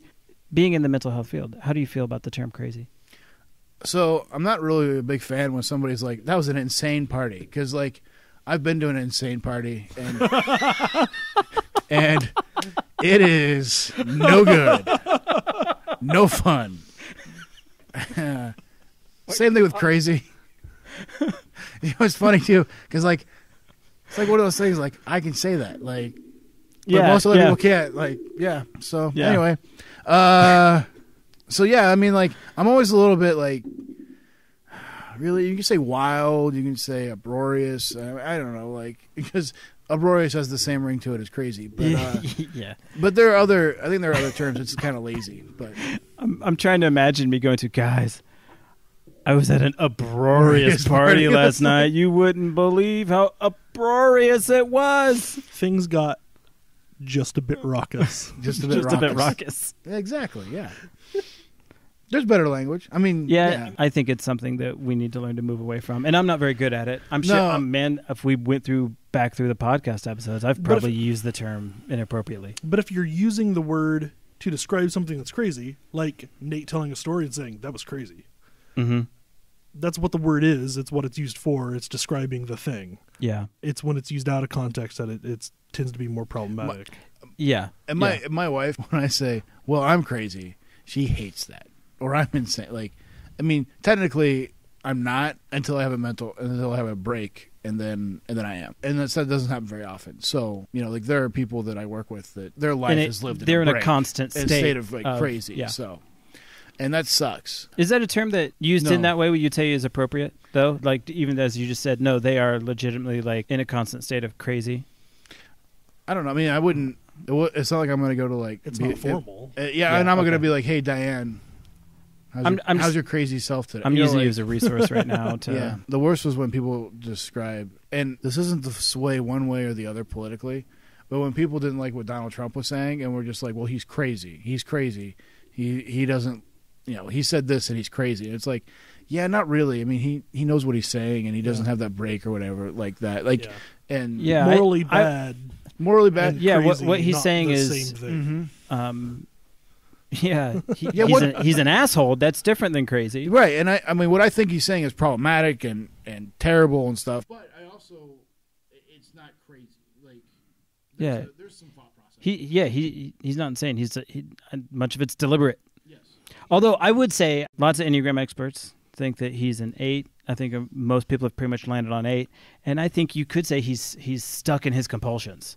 You can see those the the compulsions that come with being an eight, and I think his compulsions show up really like you can see it on his Twitter account. It's almost like he can't help himself. So there there is a way, and like yes, it's controlled, but it's also like he's stuck in his his personality compulsions. Yeah. yeah, No, no, and I'm not like. Yeah. Yeah. Like, this this is all kind of neither. Yeah. there, yeah. But that brings me back to a connection that I was trying to make. Seth, you were noticing parallels in how these things are discussed, right? Yeah. And it'll take us a bit to get to where I'm hoping we get with this. But early in the episode, Nate, you were talking about diagnosis, just very briefly, about how it's like a checklist. You check mm-hmm. off enough things, okay, then you qualify as this. But what happens if you check off several things on the list, not enough to qualify as a diagnosis? But you're you're in that area, right? Because really, sort of the measure of mental illness, at least classically, has been is this a pattern that's like massively disruptive to your life and the lives of people around you? And if it's not massively disruptive, we don't tend to call it mental illness. That doesn't mean you're mentally well, because mental health is like a goal to which we all aspire and, and need to put effort in. But mental illness is like a specific category of things have gone more wrong here. So it makes sense, especially since there's an entire category of mental illness called personality disorders. Mm-hmm. In the DSM 4, it was a it was a whole axis because it was the, an axial approach. There was a whole axis that was all personality disorders. They were separate from everything else.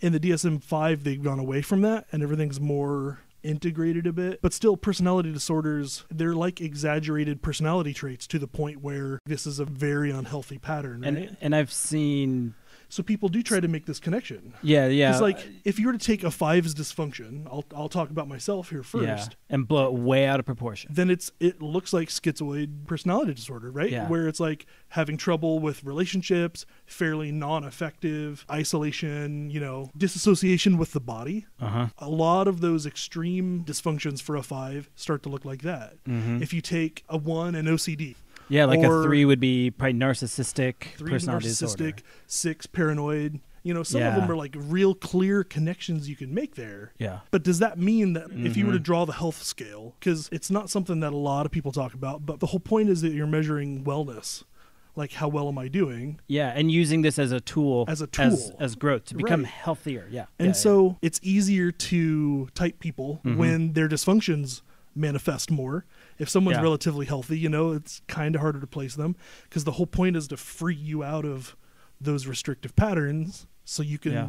behave however you choose to behave rather than behave in like compulsive ways. So is like extreme unhealth where we start getting more personality issues or like mental health issues.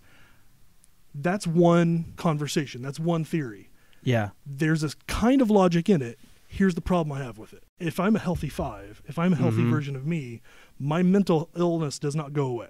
yeah. The enneagram is not a cure for mental illness. You, Yeah. You're not going to enneagram your stuff away. Even if I'm doing well, if I'm managing my, my mental illness well, I don't stop having this issue in my life. It's Yeah. still there. like I think I think I'm okay saying, you know, this is one way where it, it might help you to understand a five if you compared like an extreme picture of a five in way on health with which one was it? Schizoid. Yeah. Maybe there's a useful comparison there.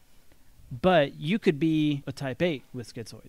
You could be a Exactly. type nine with bipolar. Exactly. And and you can be a healthy nine and your bipolar is not gonna go away. Those of yeah. us in the head center Yeah. tend toward anxiety and Yeah. depression and things, but that doesn't mean you can't be Yeah. all over the place, like Yeah. in any other personality type, and have these. You could be you can be a seven, the happiest person around, and still have anxiety. oh In fact, Oh. oftentimes that is the case. I oh mean, that's actually sevens with a- depression. Come on, Yeah, yeah, that's yeah. a thing. I also think that uh, learning some of that, learning that I'm a seven with depression, for Mhm. example, Yeah, it also allows me to learn to on how to. I think that if you learn the seven, learn some of your basic traits, your deficiencies or your dysfunctions, or whatever, you can begin to attack your depression differently than say a three with depression Hmm. or Yeah. right.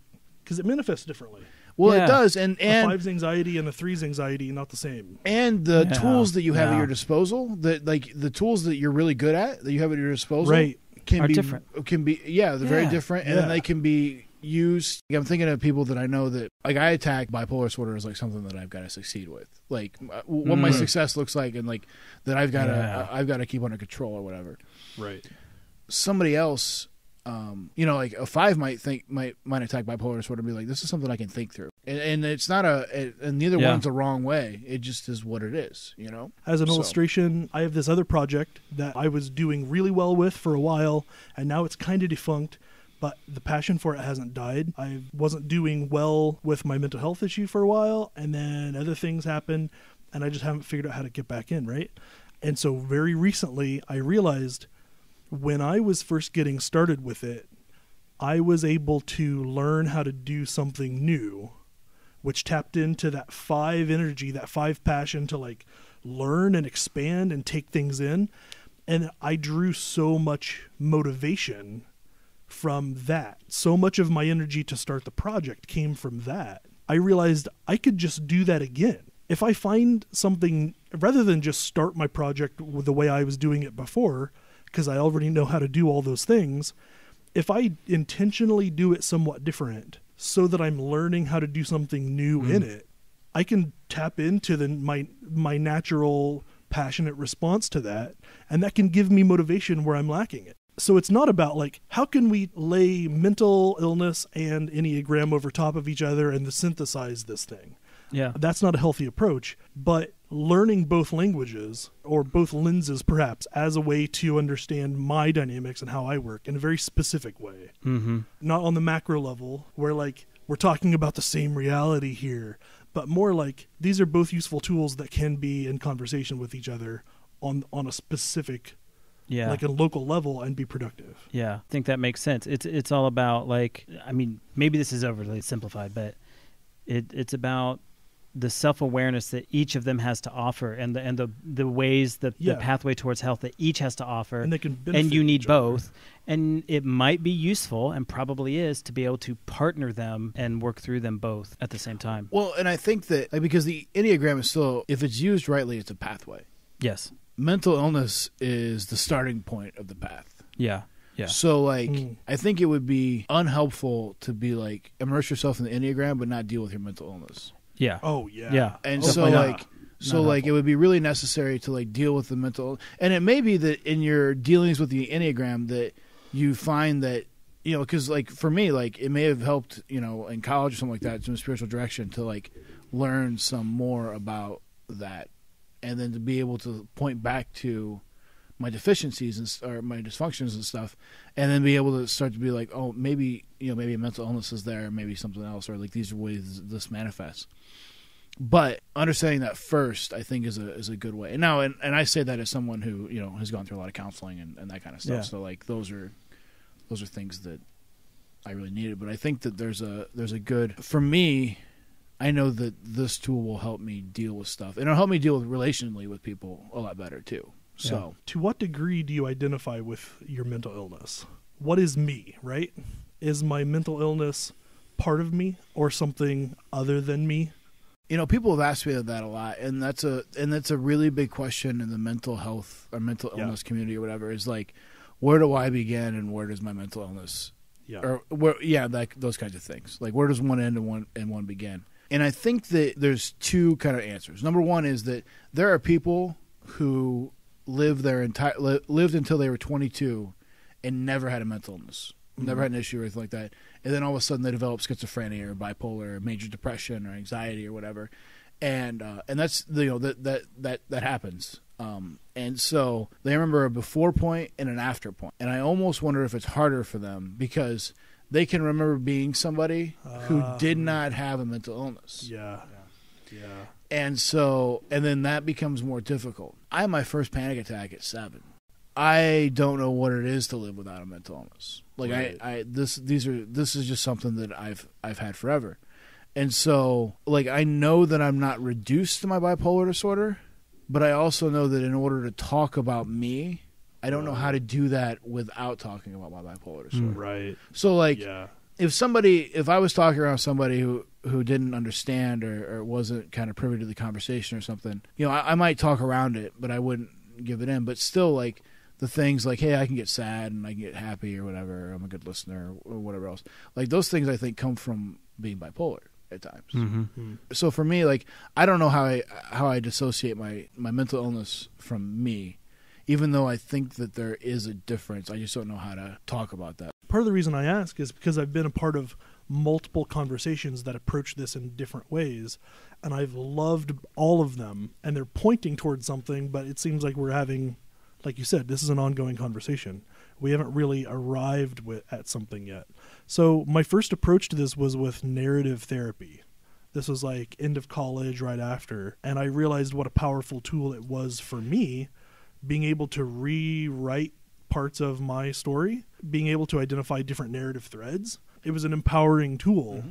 And also to begin to disassociate myself from my mental illness. Part of what that did is it helped me recognize a healthy version of me and an unhealthy version of me and, and to know the difference and to begin to tell where I'm at with that. So I could I could talk about, well, my mental illness wants to do this or whatever. To talk that way, which is a little weird, helped me recognize the difference between unhealthy and healthy versions of me, which was really good. So I in a sense there was a, a, kind of this is who I am without it, but at the same time that doesn't mean it ever goes away and all that. So one of the other most powerful angles I approached this from was disability studies, where when you're talking about rights for uh, people with mental illnesses, or or with a lot of different kinds of disabilities we're talking about people who for very good reasons need to identify with whatever the impairment is. If you talk about someone with down syndrome you can't talk about eradicating down syndrome from humanity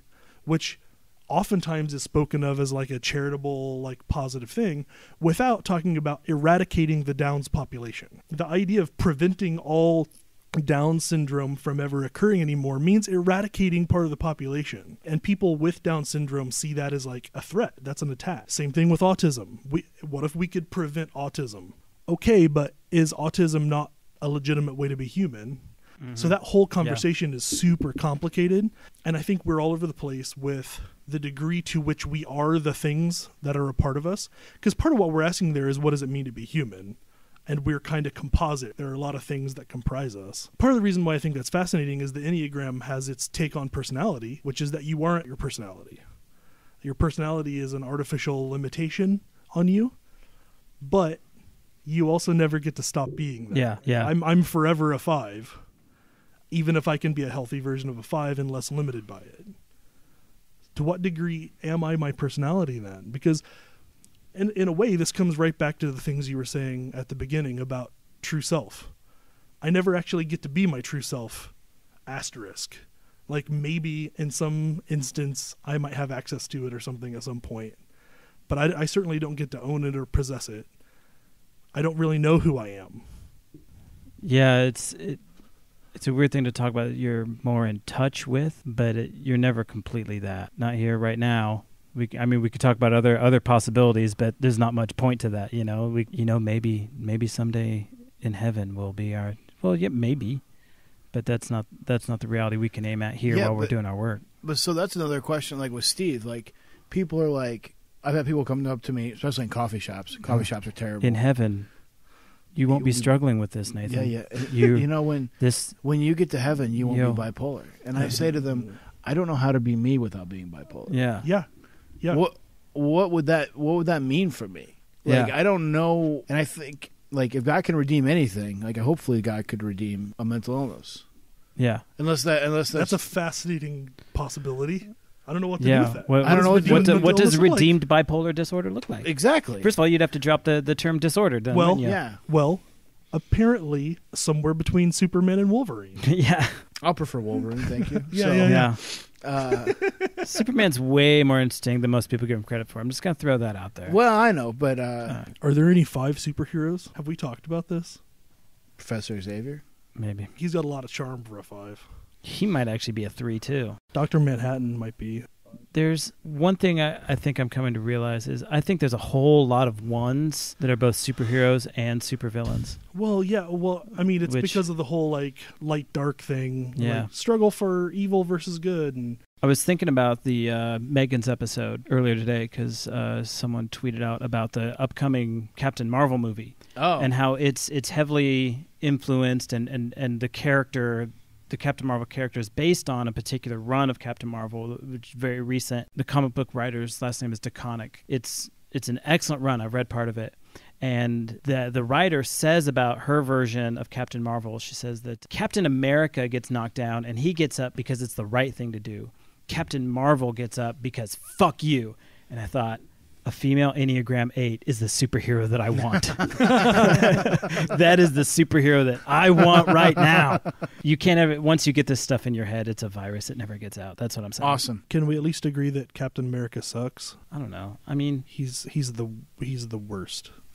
first of all, here's the, th- the the concept. How do you how do you remove the concept of Captain America from like his origins of like the the, the whole like uh, World War II nationalistic brouhaha in which he was created? It, that that to me, it's just problematic to try and keep creating something out of that. Could we have a comic arc where we explore, a la Superman Red Sun, what would have happened had Captain America? is Captain Soviet? no, Nazi Oh. Germany, man. Oh, whoa! Yeah, just Oh just drop him same time period. Just drop him on the other side of the ocean. So he would be Captain Captain, Captain Fatherland. Deutschland. Captain Deutschland. That has potential. Could really go wrong. That could be interesting. This is B-roll as hell. Anyway, Nathan, is there anything else you would like to say? Anything else you've got in you that you want to get out? No, I can't believe you called me Nathan. I've, I've been going back and forth the whole podcast. Have ya? actually, yeah. So I, I know I've Ways to get in touch or things to plug. uh, things to plug. We you can go to herehear.org, H E R E H E A R dot org. Um, you can get in contact with me through there, um, or on Twitter at NM Crawford, or Here Hear org. Yeah, see us on Facebook. At, if you look up Here Hear, H E R E backslash H E A R. Uh, I think that'll get us. So Again, we'll have links to all that stuff in the show notes Yep. Yeah. to make it easy.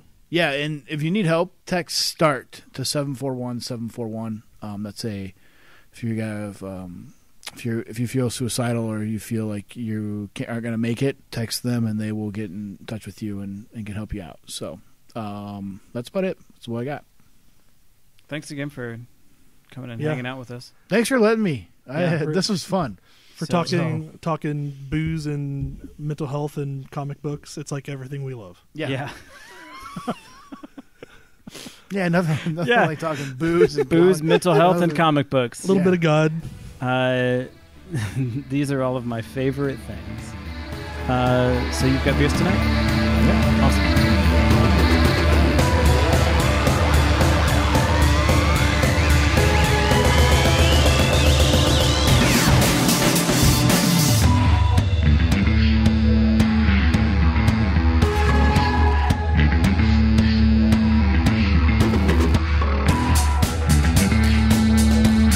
Again, this has been the E9 Podcast. You can follow us on Twitter at E9 Podcast. You can follow me at Seth Harshman. And you can follow Steve at skeptical underscore monk. Thanks again for listening.